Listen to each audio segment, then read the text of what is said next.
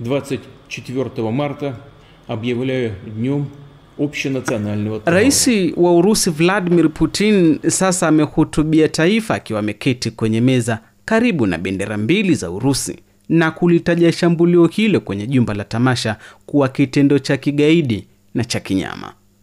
Vladimir Putin ameshukuru huduma za dharura na huduma maalum kwa juhudi zao baada ya shambulio la jana usiku huko Moscow.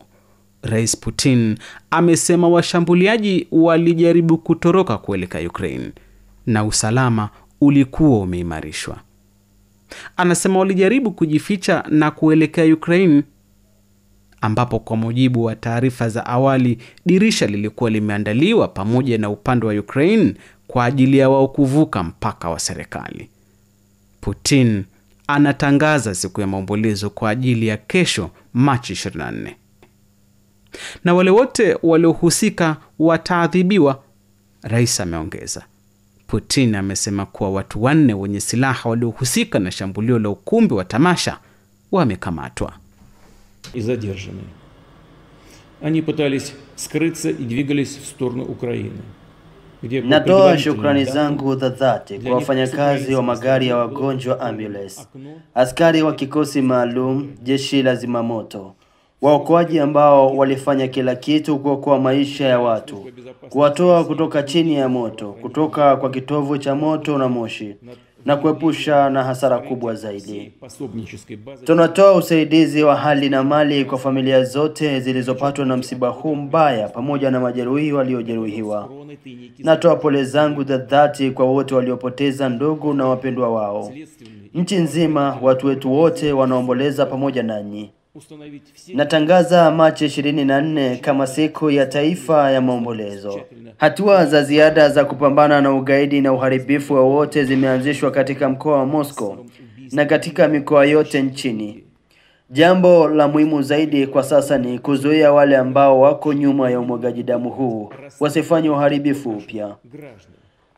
Katika uchunguzi wa uhalifu huu na matokeo ya kazi ya uchunguzi wa uendeshaji tunaweza kusema yafuatayo.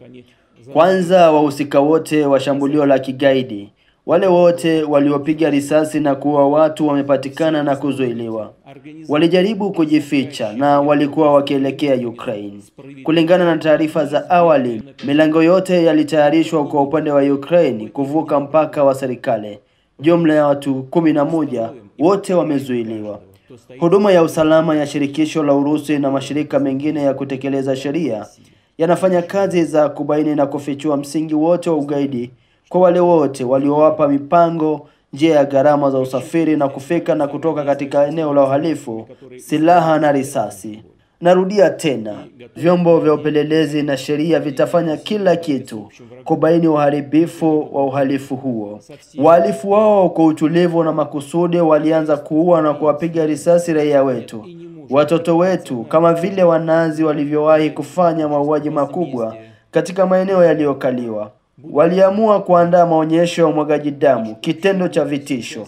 Wahalifu wote na waandaji wa uhalifu huu watapata adhabu ya stahiki na isiyoweza kuepukika na yeyote kati yao anayewaongoza.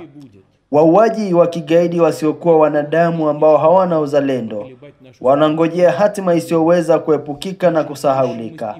Hawana cha kujitetea. Jukumu la wenzetu walioko mbele, raia wote wa nchi hii, ni kuwa na umoja katika muundo mmoja. Naamini na itakuwa hivyo. но становилось еще сильнее. Так будет и сейчас.